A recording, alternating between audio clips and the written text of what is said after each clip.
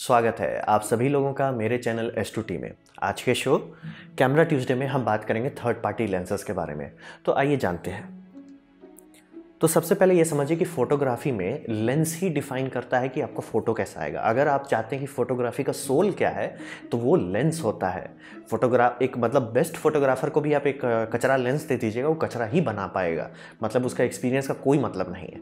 अगर एक अच्छा लेंस दे देते हैं एक नौसिखिए को तो सौ फ़ोटो लेगा तो शायद इक्का दुक्का बहुत अच्छा निकल जाए। तो इसलिए समझिए कि लेंस बहुत ज़रूरी है। मतलब इसी को आँख कहा जाता है आपका कैमरा का। अगर ये ख़राब है तो मतलब इससे अच्छा तो आप निकाल नहीं सकते। तो इंटरचेंजेबल लेंस कैमरा का यही मतलब है ताकि आप अपने हिसाब से आप क्या करना चाहते हैं? आप वेडिंग करना चाहते हैं कि स्पोर्ट्स करना चाहते हैं?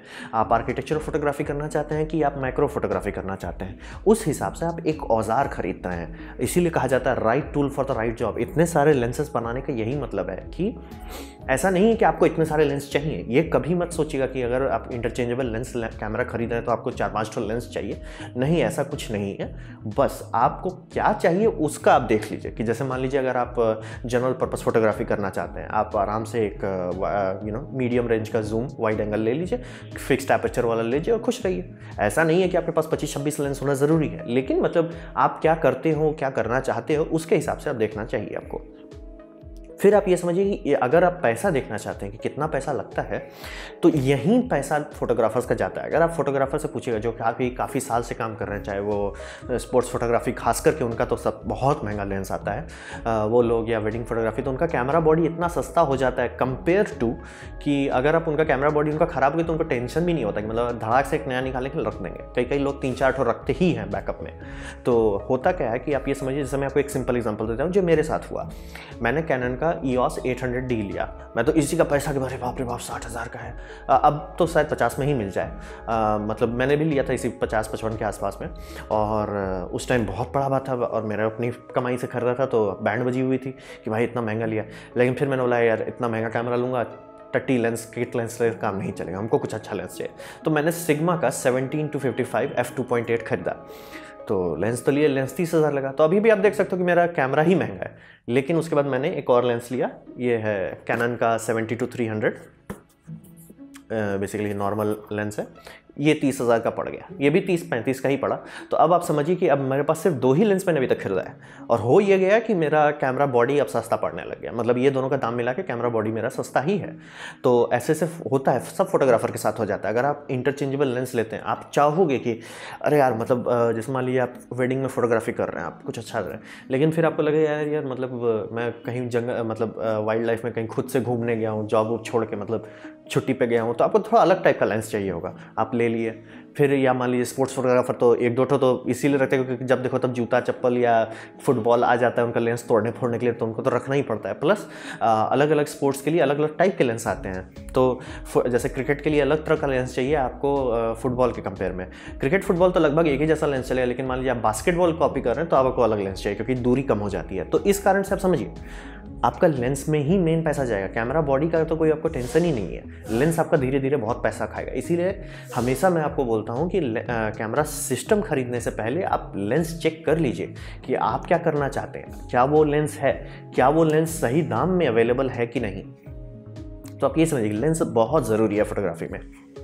तो फ़र्स्ट पार्टी लेंसेज के बारे में समझते हैं। आप ये समझिए कि जैसे कैनन और नाइकॉन के बारे में यहाँ आपसे बात करना चाहूँगा कि अगर आप सोचते हो कि वो कैनन आपको डी एस बेच के पैसा कमा रहा है, नहीं, वो डी एस वो बहुत कम प्रॉफिट में बेच रहा है। तो जैसे मान लीजिए डी एस मेरे को साठ हज़ार में या पचास हज़ार में बेचा गया तो कंपनी को बनाने में पच्चीस हज़ार लगेगा। लेकिन अगर लेंस है, जैसे मान लीजिए यही लेंस आपको मैं बता रहा हूँ कि तीस हज़ार का है तो कंपनी को बनाने में पाँच हज़ार लगा होगा। क्योंकि कंपनी ज़्यादा से ज़्यादा प्रॉफिट लेंसेज से निकालती है। समझिए मतलब अगर आप कैनन कैनन के फैक्ट्री में जाइएगा और देखिएगा कि प्रॉफिट कहाँ से आ रहा है तो उनका प्रॉफिट जनरली लेंस फैक्ट्री से आता है कैमरा बॉडी फैक्ट्री से नहीं आता है। तो इसीलिए ये लेंसेज बहुत महँगे होते हैं, क्योंकि मेन प्रॉफिट ये यहीं से निचोड़ते हैं। दूसरा, क्योंकि ये इतना महँगा रख रहे हैं तो कोशिश करते हैं और जनरली सक्सीड भी हो जाते हैं कि ये बेस्ट इन क्लास मतलब अगर ये लेंस में जितना ऑप्टिकल परफॉर्मेंस है, जितना मतलब शार्पनेस है, जितना कॉन्ट्रास्ट है, जितना माइक्रो कॉन्ट्रास्ट है, जितना डायनेमिक रेंज है, ये सब लेंस पे फ़र्क पड़ता है कि अगर लेंस आपका ख़राब सा, खास करके माइक्रो फोर थर्ड में तो बहुत हुआ कि कुछ ज़्यादा ज़्यादा एपर्चर का आ गया, लेकिन विनियटिंग इतनी ख़राब थी और क्रोमेटिक एबरेशन इतना ख़राब था कि यूजलेस था तो वो सब नहीं होता है फ़र्स्ट पार्ट में। कोशिश की जाती है कम से कम आ, मतलब ये सब तिगड़म रहे। ऐसा नहीं कभी कोई लेंस ख़राब नहीं आया फ़र्स्ट पार्टी का लेकिन कोशिश की जाती है कि बेस्ट इन क्लास बनाया जाए।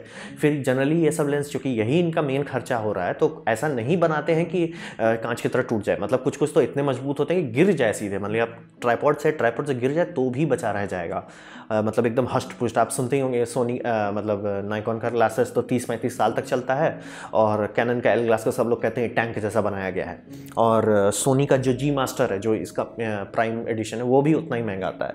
और इसका सपोर्ट देते हैं ये लोग। ये सपोर्ट काफ़ी ज़रूरी है। जैसे आप मान लीजिए किसी ओलंपिक इवेंट पे जाइएगा या कोई बहुत बड़ा स्पोर्ट्स इवेंट है, जनरली उसके बाहर आपका समझिए नाइकॉन और कैनन एक दुकान खोल कर रख देगा और खूब सारे लेंसेज को रखा रहेगा बैकअप में।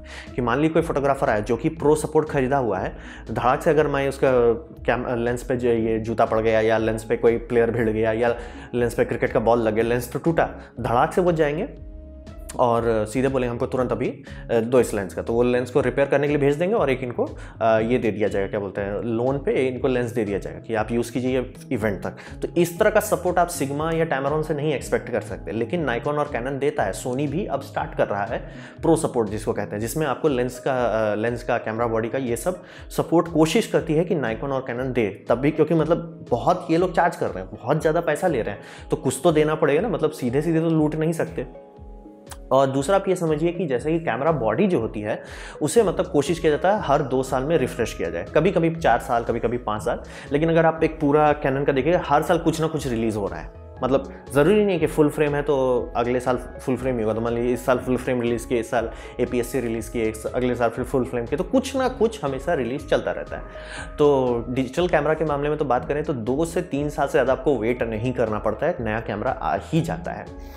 लेंसेज के मामले में ये बहुत धीमे धीमे बदला जाता है। जैसे मान लीजिए एक लेंस है जैसे इसी लेंस का सेवेंटी टू थ्री हंड्रेड का एक पुराना वर्जन है।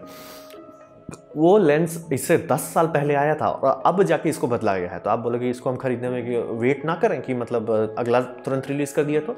नहीं, ऐसा नहीं करेंगे। ये हमेशा लेंस को बहुत गैप के बाद निकाला जाता है। पाँच साल से पहले तो करते ही नहीं और पाँच साल भी तभी कभी कभार किया जाता है जब लेंस बहुत ख़राब निकल गया। मान लीजिए कि कोई इंजीनियर ढंग से अपना काम किया नहीं ढंग से टेस्टिंग किया नहीं और सब लोग शिकायत कर रहे हैं, तभी ऐसा किया जाएगा कि लेंस को तुरंत तुरंत बदला जाएगा। लेकिन लेंस को जनरली पाँच से कम से कम, पाँच से आठ साल के बाद ही बदला जाता है। तो जैसे वर्षन वन आप किसी लेंस का खरीद लिया आज, ये मत सोचिए, अरे वर्षन वन खरीद लिया, कल को वर्षन टू आ गया। हाँ अगर हो गया है, पाँच छः से ज़्यादा हो चुका है, तब आपको सोचना पड़ेगा, लेकिन जनरली जैसे मार्क टू है किसी लेंस का तो मार्क थ्री आने में बहुत टाइम रहता है। तो आप टेंशन मत लीजिए लेंसेज बहुत धीरे धीरे साइकिल किया जाता है। ऐसा नहीं है कैमरा बॉडी की तरह के आज रिलीज़ किए Sony A seven mark two कल ए सेवन मार्क थ्री आ जाए, परसों ए मार्क फोर आए लेंस के साथ ऐसा नहीं होता है। पाँच से छः साल तक लगता है। तो ये सब तो इसका फ़ायदा है। इसका एक ही नुकसान है जो रुला देता है लोगों को, इसका दाम अंधेर होता है। मतलब इसका दाम को आप जस्टिफाई नहीं कर सकते। जैसे मैंने ये लेंस दिखा दिखा रहा हूँ तो इस लेंस का मतलब अगर आप सिमगमा या टैमरॉन में ख़रीदना चाहते हैं तो लगभग आपको नौ हज़ार देना पड़ेगा। इसमें ख़रीदने के लिए लगभग चालीस देना पड़ता है। तो आप समझ सकते हैं। मतलब बहुत तकलीफ़ होता है इस तरह का लेंस खरीदने में। तो थर्ड पार्टी ही सबको क्यों नहीं खरीद लेना चाहिए? अगर इतना ज़्यादा पैसा का अंतर है तो पहले ये समझिए कि खास करके नाइकॉन और कैनन में तिगड़म ये है कि ये लोगों ने अपना लेंस का जो एल्गोरिदम है, ये कभी खोला नहीं। और क्यों खोलेंगे? क्योंकि इनका लेंस ही मेन बिक्री होता था, इसलिए लेंस का एकदम टॉप सीक्रेट रखे। तो अब इस टॉप सीक्रेट का प्रॉब्लम ये हो गया कि शुरू शुरू में कोई दिक्कत नहीं था कि अगर आप फिट कर दे रहे हैं तो फिट हो जा रहा है। लेकिन जैसे जैसे ऑटो फोकस आने लगा, तब मतलब इलेक्ट्रॉनिक कंट्रोल आगे पीछे हो रहा है। जैसे जैसे वाइब्रेशन रिडक्शन वो इलेक्ट्रॉनिक कंट्रोल दे रहा है एपर्चर कंट्रोल इलेक्ट्रॉनिक हो गया। तो जितना जितना चीज़ इलेक्ट्रॉनिक होता चला गया प्रॉब्लम ये हो गई कि जो मैन्युफैक्चर्स हैं, इनके पास तो वो डेटा नहीं है तो ये पुराने पुराना लेंस खरीद के या नाइकॉन का जो नया लेंस है या कैनन का नया लेंस उसको लेके खोल के फिगर आउट करते हैं, कोशिश करते हैं, तिगड़म लगाते हैं कि कैसे ये लोग कर रहे हैं। फ़ायदा इनको रॉयल्टी फ़ी नहीं देनी पड़ती, नुकसान कि आपका लेंस का भरोसा नहीं है। जैसे मान लीजिए आप कैनन का कोई भी कैमरा खरीदे हैं, आप सिग्मा का ये लेंस ले लेते हैं पॉपुलर है। ज़रूरी नहीं है कि हर लेंस पे काम करेगा। कई बार तो इतना बुरा हालत हो जाता है कि आपने सिग्मा का एक लेंस लिया, आप बोल रहे हो कि, अरे, लगा के करें। अरे, यार ऑटो फोकस ही नहीं कर रहा है। तो सब, आपको सिग्मा में फ़ोन कीजिएगा, सीधा बोलेगा, सर, आप तो दुकान में आइए, तब हम इसका फर्मवेयर ये सब में भी फर्मवेयर होता है, उसको फर्मवेयर अपडेट कर देंगे तो नए कैमरा के लिए बनाया गया ये सब तिगड़म आपको फ़र्स्ट पार्टी में कभी नहीं होता। और मान लीजिए कि आप बोले ऐसा कैसे कर सकते हैं कि तीन सौ लेंस से ज़्यादा बनाया है नाइकॉन और कैनन कैसे रख सकता है कि तीन सौ का तीन सौ लेंस काम करे? वो एक्चुअली टेस्ट करते हैं। दूसरा, अगर मान लीजिए कोई नया कैमरा में कोई नया सिस्टम है, जिसके कारण मतलब इनको मतलब थोड़ा सा दिक्कत होगा। ये लोग अपने ही फॉर्मवेयर में यानी कि कैमरा बॉडी में जो फॉर्मवेयर होता है उसी में लेंस के बारे में तिगड़म लगा के रख देते हैं। तो आपको ऐसा नहीं करना पड़ता कि लेंस को ले जाओ दुकान में और उसका फॉर्मवेयर फ्लैश करो या आ, मतलब आपको यू एस डॉक जो कि सिग्मा पहला कंपनी है जो लेंस का फॉर्मवेयर चेंज करने के लिए यू एस डॉक है साढ़े चार से पाँच हज़ार का आता है। वो दे दिया है कि आप आप अपने घर में ही कर लिए। तो ये इस तरह का बहुत महँगा महँगा अगर आप सिग्मा लेंस खरीद रहे हैं मैं कहूँगा कि आप वो डॉक में इन्वेस्ट कीजिए। क्योंकि अगर आप बॉडी बदले तो बॉडी के लिए हिसाब से वो सिग्मा कोशिश करिए दोबारा रिवर्स इंजीनियर करने का और फॉर्मवेयर बनाने का। बना ली तो आपको अपडेट मिल जाएगा। लेकिन ये सब तिगड़म आपको समझना पड़ेगा। सोनी इकलौती कंपनी है मतलब ये तीन कंपनी की मैं जहाँ बात कर रहा हूँ, जैसे कि कैनन और पैनासोन कैनन और नाइकॉन कभी अपना लेंस खोले नहीं। सोनी खोल दिया। सोनी का हिसाब ये है कि अगर सोनी का बॉडी बहुत बिक रहा है और सब लोग के सब लोग तो महँगा महँगा लेंस खरीदेंगे नहीं, जहाँ पे उनका पाँच लाख का या साढ़े छः लाख का जो लेंस है, सबके सब तो खरीदेंगे नहीं। लेकिन अगर मान ली कोई सस्ता लेंस खरीदा और ढंग से उसको मिला नहीं एक्सपीरियंस तो वो तो सोनी को ही गिर आएगा कि भैया सोनी का कैमरा अच्छा नहीं चलता। तो इस कारण से सोनी बोला कि देखो, हम सस्ता लेंस बनाते ही नहीं है, हम हटा ही देते हैं। हम ऐसा लेंस बनाते हैं जो प्रोफेशनल के लिए बने, एकदम बेस्ट क्वालिटी बनाए, हम मतलब सिर्फ़ एक ही चीज़ पर ध्यान देंगे। और ये सब जो कंपनी है Sigma Tokina Voigtlander you know Tamron आप लोग अपना सस्ता लेंस बनाओ, लेकिन हम आपको दे दे रहे हैं डेटा ताकि आप मतलब कचरा मत बना दो। तो इससे आपको समझना पड़ सकता है कि खास करके नाइकॉन और कैनन में आपके बहुत झमेला हो सकता है। अब लिए लेंस लगाए एकदम ए फुक से नहीं कर रहे तो ऐसा होता है, कम ही होता है आजकल तो लेकिन होता है। और सिग्मा में तो आपको पता है कि यूएसबी डॉक खरीदना पड़ सकता है। तो इसीलिए अगर आप थर्ड पार्टी लेंस खरीदना चाहते हैं तो प्लीज़ ऐसा रिव्यू देखिए जहाँ पर वही बॉडी इस्तेमाल किया गया जो आपके पास है। दूसरा, क्योंकि ये लोग कम दाम कर पे देते हैं, इनका क्वालिटी कंट्रोल एक लेंस के बाद से दूसरे लेंस में बहुत कम होता है। मतलब मैंने आपको बताया कि वो सब लेंसेज प्रोफेशनल के हिसाब से बनाया जा रहा है और उसमें नाइकॉन और कैनन का ही फ़ायदा होगा अगर उनका लेंस टैंक जैसा बना है कि टूटे फूटे नहीं, क्योंकि समझिए उनको सर्विस देना है तो उनके लिए फ़ायदा होगा कि अगर लेंस ना टूटे, अगर उनका लेंस ख़राब ना हो तो कोशिश की जाती कि वो लोग एकदम बेस्ट सर्विस दें। यहाँ पे मतलब दाम घटाने के लिए इनका, आपको कई बार हो सकता है कि जैसे मान लीजिए मेरे पास ये लेंस है, अरे बस काम कर रहा है, एकदम मिजाजी काम कर रहा है। मान लीजिए टूट गया, चोरी हो गया, ख़राब हो गया, पानी में गिर गया, कुछ भी हुआ। मैंने वही लेंस दोबारा ख़रीदा। ले, अब इसका ऑप्टिकल मिसअलाइनमेंट है। ऐसा कई बार हुआ है, जो कि फ़र्स्ट पार्टी में ऐसा नहीं, कभी नहीं होगा। लेकिन फ़र्स्ट पार्टी में होगा तो पहले सपोर्ट का चांसेस ज़्यादा रहता है। दूसरा, बहुत कम मिलता है। मतलब अगर वहाँ सौ में दस प्रॉब्लम आएँगे, यहाँ पे सौ में पचास प्रॉब्लम आ जाता है। इसीलिए इस बात को आप ध्यान रखिए।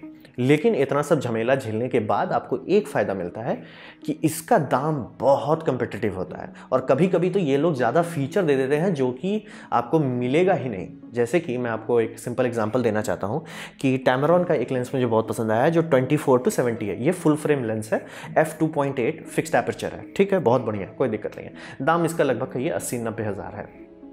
अब अगर आप नाइकॉर का लेना चाहते हैं तो उसका दाम डेढ़ लाख है। और अगर कैनन का लेना चाहते हैं उसका दाम भी दो लाख है। तो दाम के मामले में तो सोचना ही नहीं है। दूसरा, वो दोनों वाइब्रेशन रिडक्शन देते ही नहीं है। कैनन शायद नए वर्जन में देने लगा, लेकिन वाइब्रेशन रिडक्शन नहीं देते, ये देता है। तो समझ रहे ऐसा नहीं होता है कि थर्ड पार्टी हमेशा कचरा बनाती है। पहले ऐसा होता था कि थर्ड पार्टी क्योंकि सब चीज़ मैनुअल था तो उतना तिगड़म नहीं लगता था। लेकिन जैसे जैसे इलेक्ट्रॉनिक बढ़ता गया, तिगड़म उनका झमेला बढ़ता गया। तो लेंसेज अब ऐसे आते हैं कि ये सिग्मा और टैमरॉन ऐसा नहीं कि सस्ता लेंस बना। आपको बताया ये नब्बे हज़ार का है, ये साठ हज़ार का है, ये पैंतीस हज़ार का है। तो ये सब दाम ऐसा नहीं है कि बहुत सस्ता है। लेकिन ये अब कोशिश करते हैं कि क्वालिटी में बात कर सकें। तो जैसे ये लेंस आप लेते हैं तो जितने लोग इसको टेस्ट किए हैं, कि सब बोलते हैं कि नाइकॉन कैनन अगर मान लीजिए हंड्रेड है तो ये लगभग नाइन्टी फाइव है। मतलब लगभग पहुँच ही गया है। और इतना ये कम दाम है कि आप दो खरीद लीजिए कि ठीक है, आपका एक मान लीजिए कभी टूट फूट गया, कोई दिक्कत नहीं है ना, दूसरा है। ये समझ सकते हैं, इतना बड़ा प्राइस गैप होता है। तो थर्ड पार्टी लेंसेज खरीदने के बारे में आपको दो चीज़ समझना पड़ेगा। पहला, आपको कौन सा लेंस चाहिए, वो है कि नहीं? दूसरा, वो लेंस उसी बॉडी के साथ देखिए जो बॉडी आपके पास है।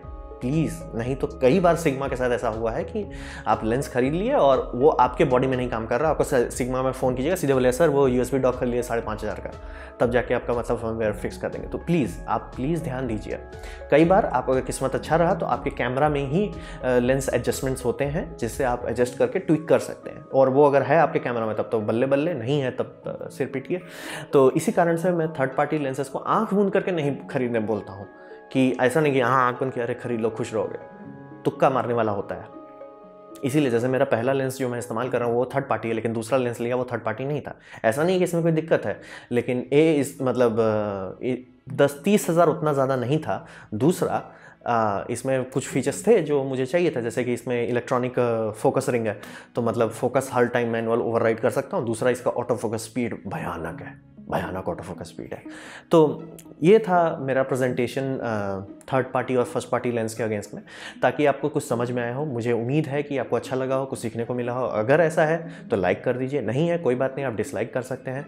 मैं कहूँगा कि आप कॉमेंट लिखिए कि अगले एपिसोड में आप क्या देखना चाहेंगे। अगर आप शेयर कीजिए दोस्तों के साथ hashtag S two T के माध्यम से आप सब्सक्राइब कीजिए। अगर आप फ्री हैं तो बेल बजा दीजिए। आपने मेरा वीडियो देखा, ये जान के मुझे बहुत खुशी हुई। धन्यवाद।